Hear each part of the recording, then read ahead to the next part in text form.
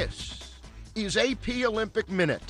Apolo Anton Ohno won the bronze medal in the short track 1,000 meter final, becoming the most decorated U.S. Winter Olympian in history. Lee Jung Soo of South Korea won the gold medal Saturday night, and teammate Lee Ho Suk earned the silver. Ohno's seventh career medal broke a tie with long track speed skater Bonnie Blair.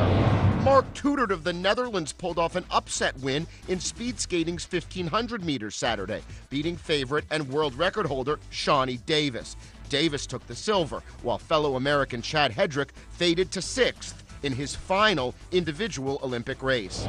Lindsey Vonn did not get the sweep of the alpine speed events she had hoped for Saturday. The two time reigning World Cup overall champ had to settle for a bronze medal in the Super G to go along with the gold she won in the downhill.